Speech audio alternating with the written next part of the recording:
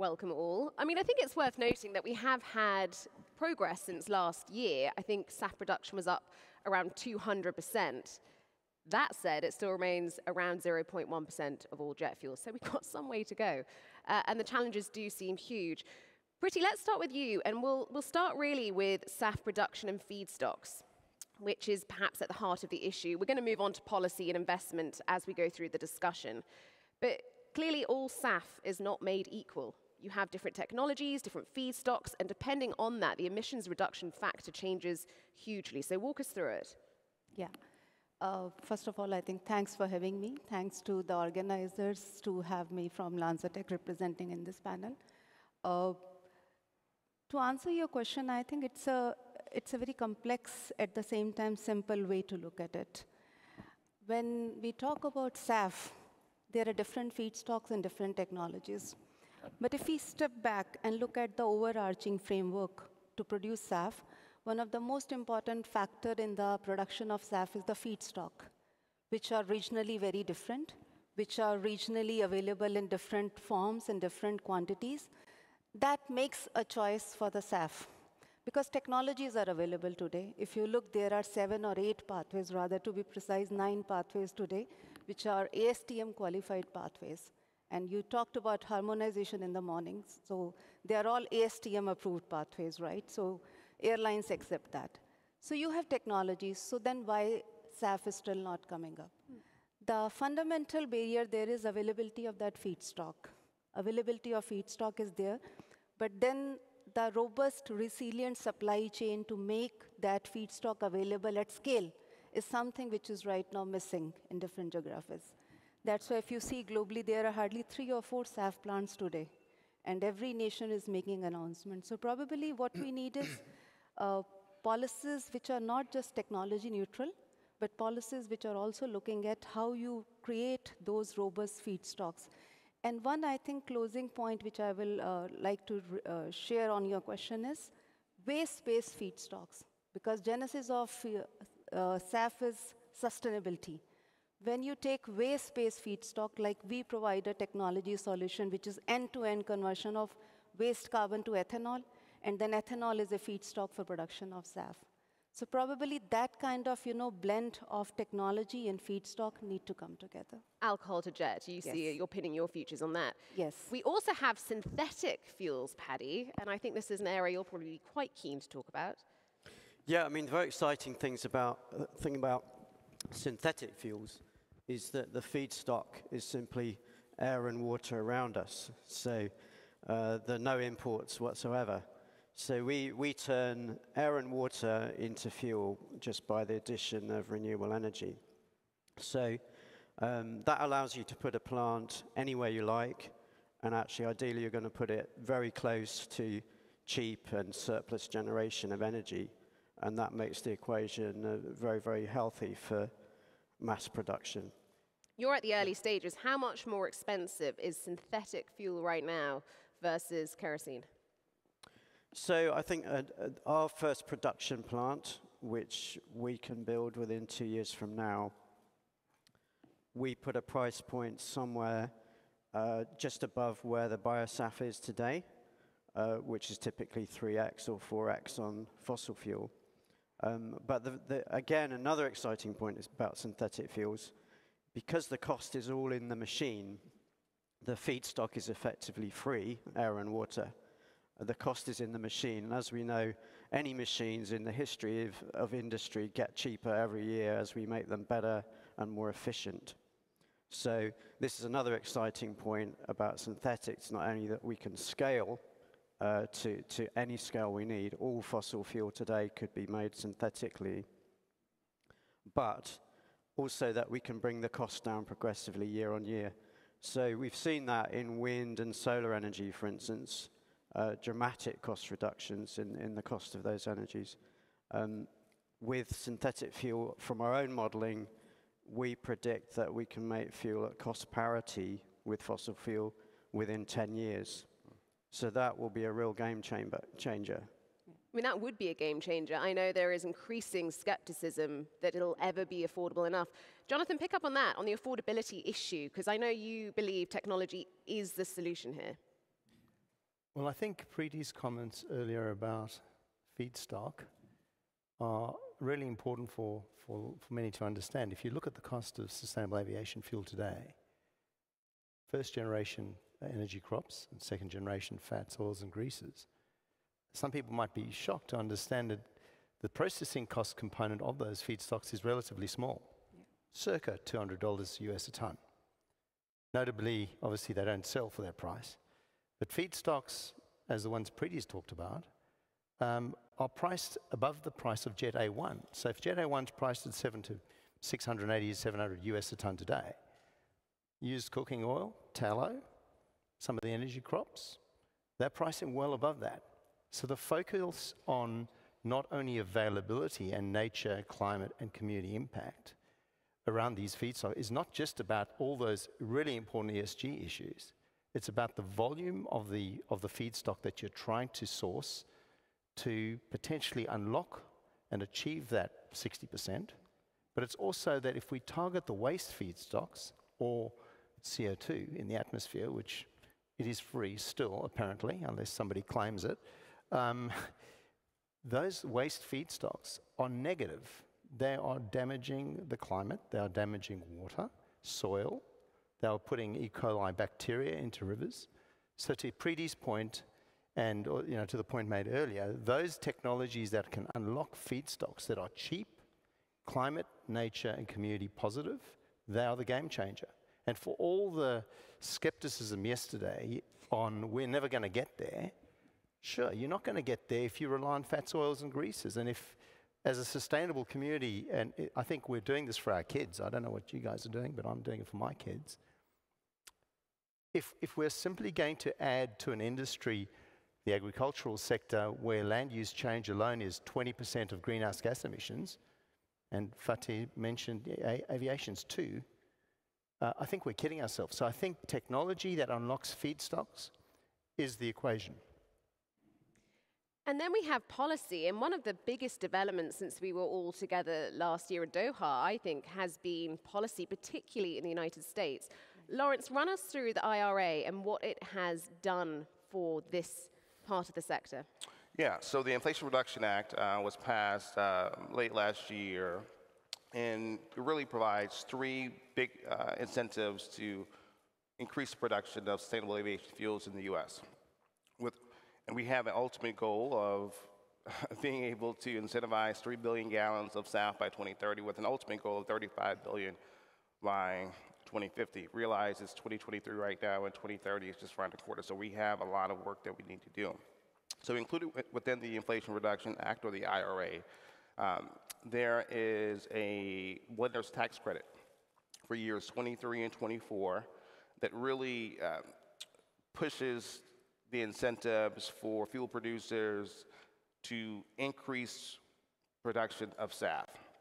Also included in the IRA for years 25 through 27, there's a clean fuel production credit. So it's not specific to SAF, but still SAF is, is premium. In addition, the FAA uh, received about $300 million in additional grant monies that we will be able to hopefully distribute within the next year. Once again, fuel producers, airports, community organizations, for-profit organizations will be able uh, to work on projects that help with the storage, the transportation, the blending of SAF, which we think is critical, as well as looking at different technologies that we can use um, to help us in our journey. Because, as you mentioned, in order to reach our net zero goals by 2050, SAF is a major part of the U.S. strategy. 65% of the emissions reduction. Absolutely. Before we ask uh, the SAF producers here how they feel about this policy, um, Jonathan, I know that you were talking to me about investment in the US and how you feel there's a degree of fra fragmentation despite the strides that have been made with the IRA. So I'd, I'd like to respond to that, but I, just one point about policy that I want to make. Uh, that I want to make. If you use an oil and gas analogy, apologies to those who might have offense with that but mandates and policies are like the pressurization of a pipeline.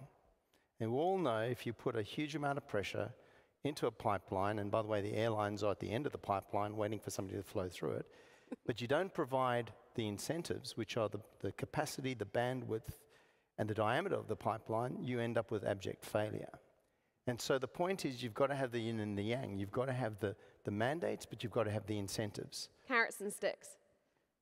Carrots and sticks, yeah. I mean, that's, yeah. I, I like the pipeline analogy. Yeah. Fluid mechanics, for those of you who did that. But the point I'm getting at is Europe and America are, it's fascinating. Europe is all about penalties, and America is about incentives.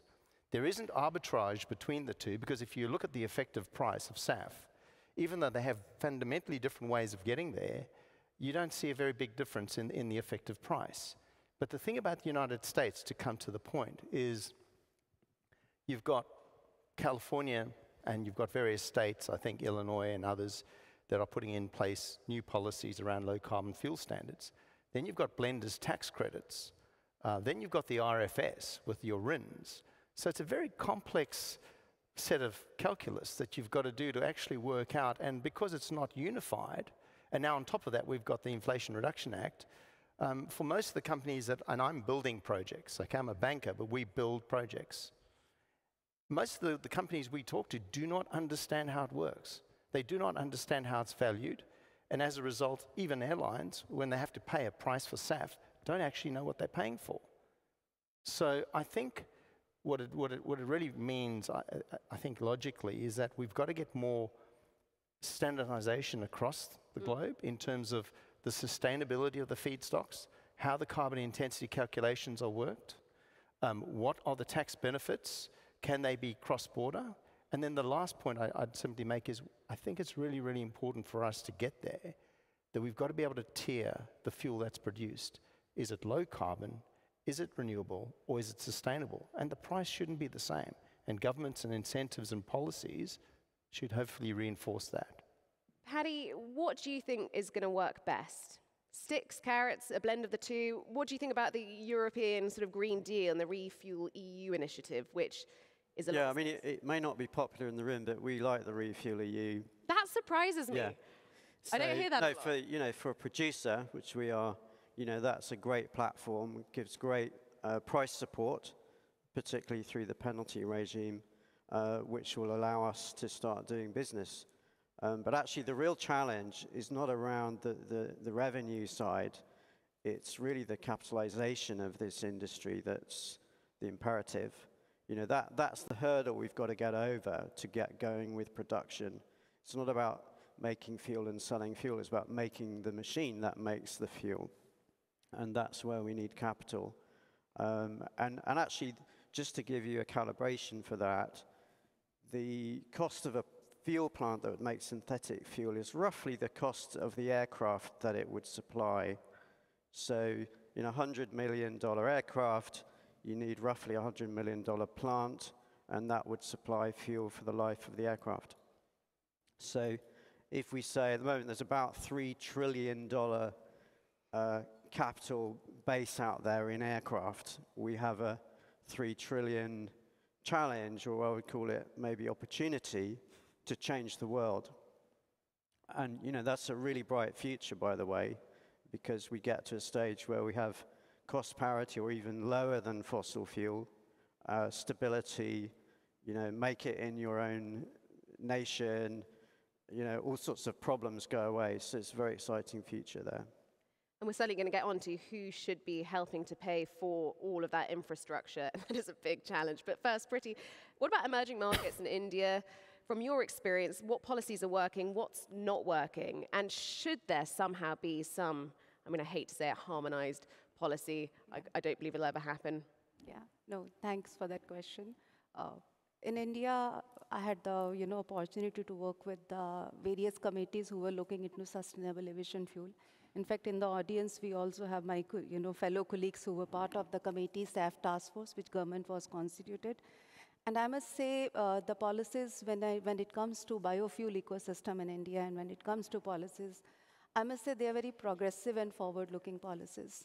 When I look at the biofuel policy per se, the biofuel policy in India includes all the possible waste sustainable feedstocks, which is the fundamental building block, as all of us are saying. So what is still missing there? What comes next? I think next come is you have this feedstock identified, and the committee also identified there are two technology pathways, you know, which are more suitable because feedstock decides your choice of the technology. Now you need to bring investments. So these technologies are new. So when these technologies are new, the capex is, these are capital, capital intensive technologies for at least.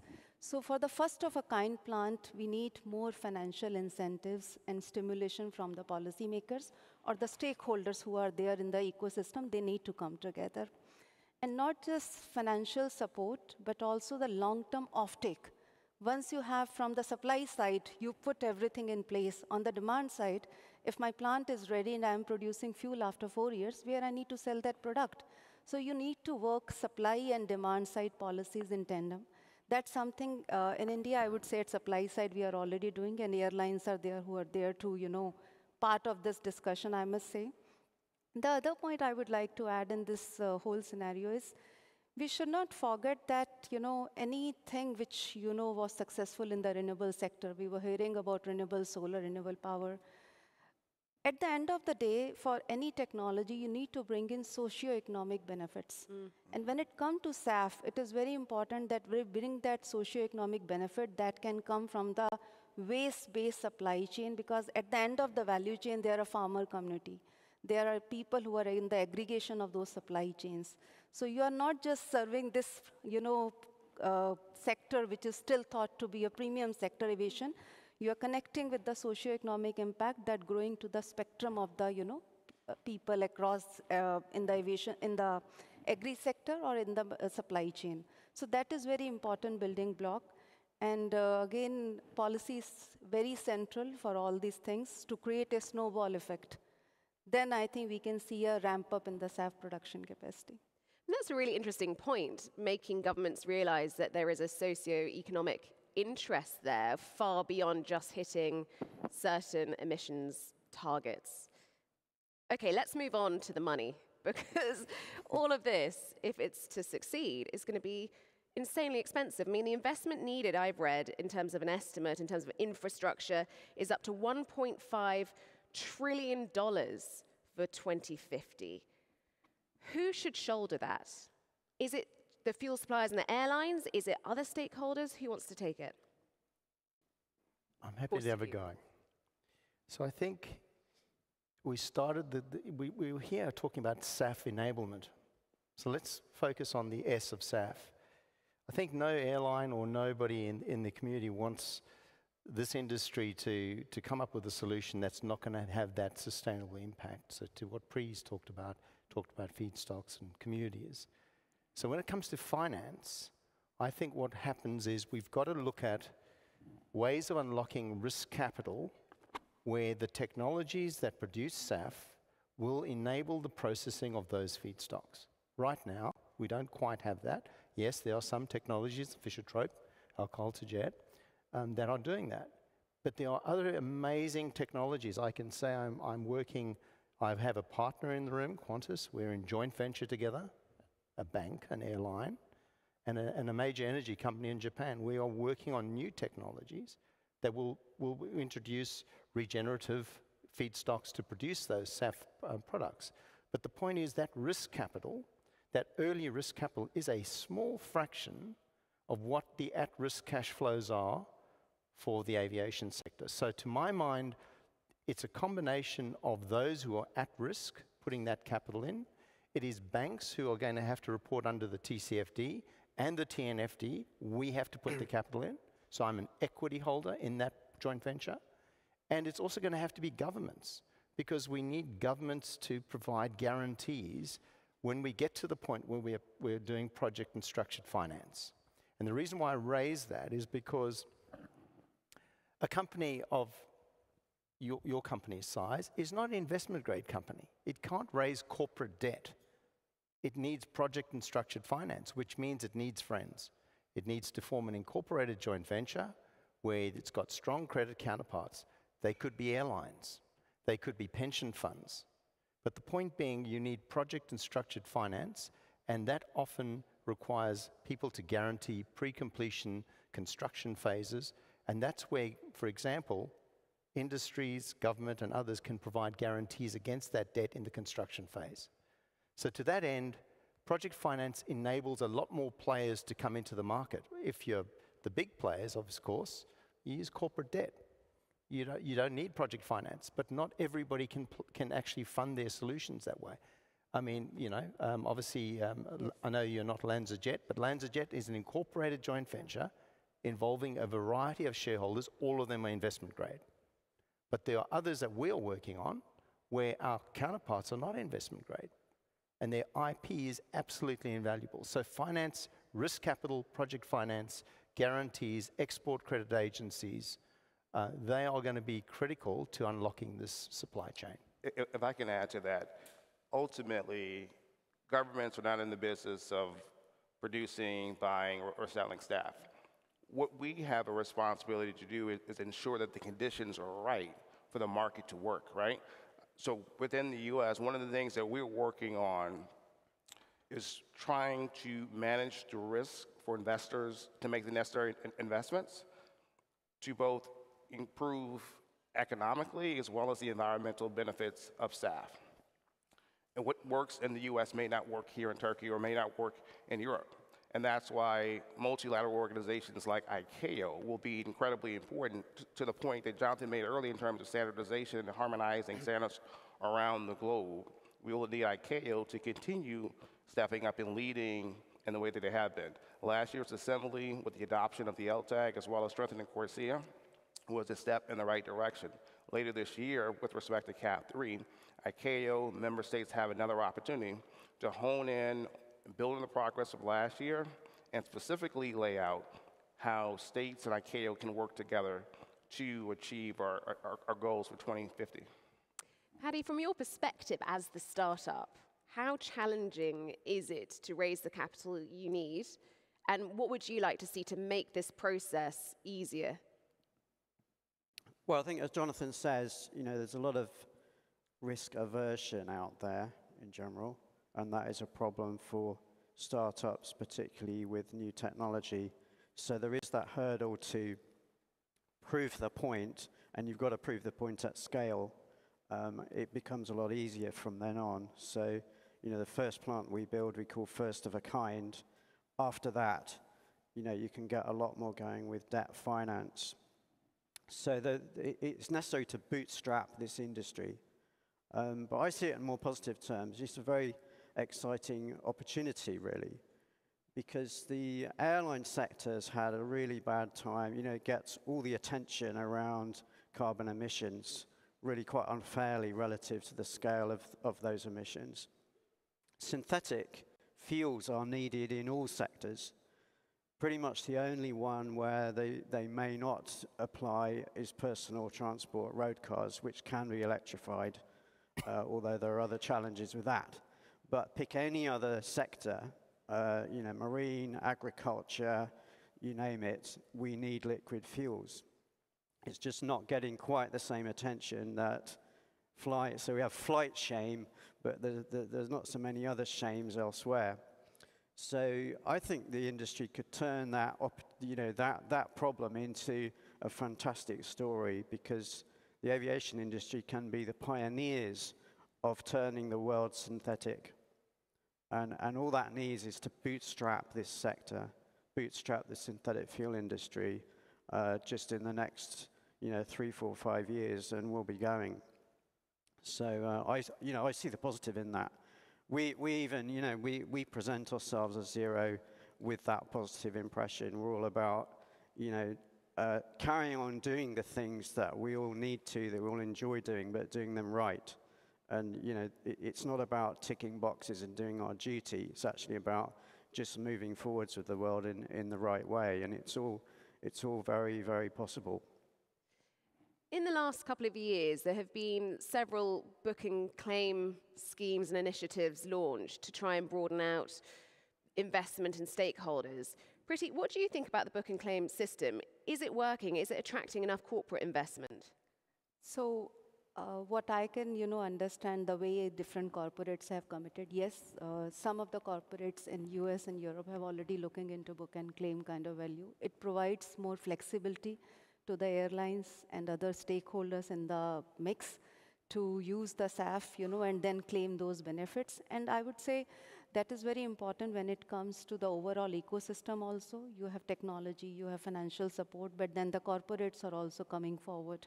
So those kind of mechanisms are really important, but still I would say uh, the awareness and right understanding about that topic is still required because there is only a very you know limited set of stakeholders I have seen when I am engaged with them who understand this comprehensively.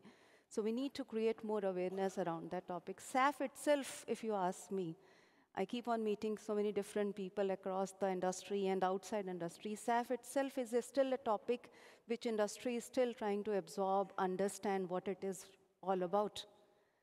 So we need to create more awareness also about that around the topic. When we consider carbon accounting for corporates, yeah. is it simple enough yet with SAF? Is there a globally recognized certification system? There is. Well, it's a really good point. Um, as I'm sure you know, with, with carbon credits, there's been a lot of debate about the authenticity, right? And it's, it's very much, and in Australia, we've had the same thing. And whether it's, um, and in the process of certifying and assessing, the, the, the SAF industry is incredible. I mean, the U United States have got the GREET model. Most people in the industry don't know what GREET is. They think it's something you do when you shake hands, but it, it isn't quite that. In fact, it does lead to a really good handshake when you get a lovely premium for your fuel based on its carbon intensity. So I think the thing is that GREET is very, very prescriptive.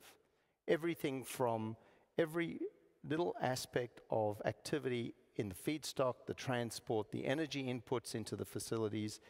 And, you know, this isn't, once again, I'm, I'm a third generation junkie, so don't, I'm not going to uh, be shy about it. But if you look at third generation feedstocks and you look at GREET, your feedstocks start at negative scores. So fossil is 85 grams of CO2 per megajoule. If I'm using animal waste, human waste, effluent, um, slaughtery, uh, you know, abattoir waste, I'm starting at minus 100 or minus 200 grams of, uh, of carbon per megajoule, uh, CO2 per megajoule. So I think that model is exceptional because you can, you can embed it into your financial models. You can, you can you put your project technologies, you can look at all your inputs. The problem is we don't get transparency. And so in some regards, the world needs a single standard and we need certification. And if you are the airline at the end of the pipeline that hopefully hasn't been overpressurized and exploded, um, you need to know that that SAF that you just bought under that certification, right, maybe even a blockchain system that goes right back to where that crop came from or that waste came from, is incredibly clear. And I think that is going to be an enabler. It's also going to affect, I think, more capital going in because people have to understand climate is not separate from nature. And it's, it's, it's, it's, it's pervasive, the, the narrative is there. But SAF can deal with cleaning up the climate. If the climate in cleaning up the climate under GREET gives you big negative scores, the value of your fuel goes up. And that waste is a liability. It's, it's causing havoc. Um, not in areas where people drive EVs, by the way. In areas of the world where 62% of the population, where we are to the north, are living in filth. So I think the model and, and, and a certifiable transparent and, and essentially a single model is going to be vital. And but a single model, everybody. and who, who leads that, Lawrence? ICAO? Um, if ICAO can move quickly enough, right? So that's the issue. Um, but but but but to, to to Jonathan's point, in terms of whatever the model is, it needs to be transparent, it needs to be easily understood, and it needs uh, to be able to be incorporated into the financing models that investors need to make. Yeah. Now, the one voice we don't have on stage right now are the airlines, but they're out here in the audience. what role do airlines have here? Brittany? Yeah, I think uh, it's a tremendous opportunity for airlines out there. One, yes, long-term offtake when it comes to airlines commitment is very important, but it's also a way to look at the market from a futuristic point of view, that you be a part of this journey. You help to build that ecosystem so that, you know, as we heard, that government can only support your system at the initial stage. but how you can have that you know, industry to be created in the long run. And if you use waste, that can be distributed system of production. Imagine, you know, that beautiful distributed system of production producing SAF. Airlines can be a party to this. And some of this, you know, one point I would like to mention because we heard in the previous presentation, some of these, you know, technology choices when we make, we have to be cognizant of the fact that some of the technology pathways are very important when it comes to uh, environmental benefits. For example, we heard about, you know, contrails. So if the SAF technology is giving you class of SPKs, which is, sorry, I'm chemistry background, which is class of synthetic paraffinic kerosenes, when you have SAF with those kind of properties, it can help to you reduce 95% of contrails, like in our pathway as well. So you need to have all those, you know, uh, factors and important parameters in place. And airlines can be a part of that process when this kind of discussion is happening. Paddy, what would you like to see from airlines? I would like to see uh, some of the support that I talked about earlier for transforming the sector. I mean, you know, we've been saying for a long time, but you know, now more and more are saying it. Refuel EU endorses it. Synthetic fuel is the only future for scale. It's as simple as that. You know, we can talk all day about other feedstocks, but they will play their part, some of them a great part because we're using waste. But the game for, for scale to replace all fossil fuels is synthetic. And I would like to see the airlines, uh, you know, supporting that, embracing that, uh, taking a structural role in the creation of that industry. Um, because whilst that is a challenge at the moment, short term, it's new tech, people, you know, not really sure. Um, the future is very, very bright. Uh, and, and, and, it will lead to a, a, world where fuel is, is cheaper, I believe, stable in price, uh, a much better world than the one we live in today, quite apart from the fossil carbon emissions. The target we have for this sector is hugely ambitious. And yesterday, speaking on CNN, the CEO of Qatar Airways says he doesn't believe that the target can be reached either by 2030 or 2050. How do you all feel about that? He doesn't believe the feedstock is there. Quick fire round. Jonathan. If your technologies do not access feedstocks that are abundant, that are destroying the planet, have a negative value, or, in your case, free, then I correct. I don't think you're going to get there. But if you have the technologies that can access those feedstocks, one of the projects we're looking at in Southeast Asia, the waste in that region is 160 million tons a year. I can produce the best jet fuel out of that stuff at a negative carbon intensity score. So, to my mind, technology, capital, and new pathways and new feedstocks, and I reckon you've got a chance of getting there and generating carbon credits, which Willie over there will probably consider are CORSIA eligible. Paddy? Well, we heard the CEOs address that question yesterday. If you don't set a challenge, you'll definitely never get there. I have a background in Formula One. I was 32 years in that industry. We set ourselves a lot of very serious challenges in that space. Um, there was one year we were back of the grid and we set the challenge to win a race within half a season from the back, and we did it. Um, you know, that, that was an incredible and seemingly impossible achievement. So I, I, I come from a position of great optimism.